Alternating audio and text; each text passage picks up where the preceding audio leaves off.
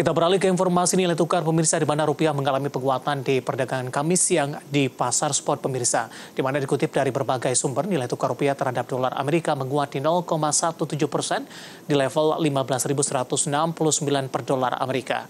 Sebelumnya nilai tukar rupiah di pasar spot bergerak tipis di awal perdagangan Kamis pagi tadi di mana dibuka di level 15.197 per dolar Amerika Serikat. Posisi ini membuat rupiah menguat tipis di 0,06 persen jika dibandingkan dengan penutupan hari sebelumnya.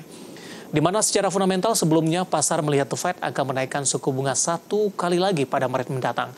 Namun data terbaru dari perangkat Fedwatch milik SME Group menunjukkan pasar melihat kenaikan suku bunga tiga kali hingga menjadi 5,25 hingga 5,5 persen. Perubahan pandangan pelaku pasar tersebut terjadi akibat inflasi di Amerika Serikat di atas ekspektasi, terutama data inflasi di Januari 2023. Langsung saja kita akan coba lihat bagaimana pergerakan nilai tukar rupiah terhadap sejumlah mata uang utama berikut ini sampai dengan sore hari ini waktu Indonesia Barat. Terhadap dolar Amerika Serikat di 15.174 rupiah, kemudian terhadap euro di 16.241 rupiah, pound sterling di 18.271 rupiah dan yen Jepang di 113,32 rupiah.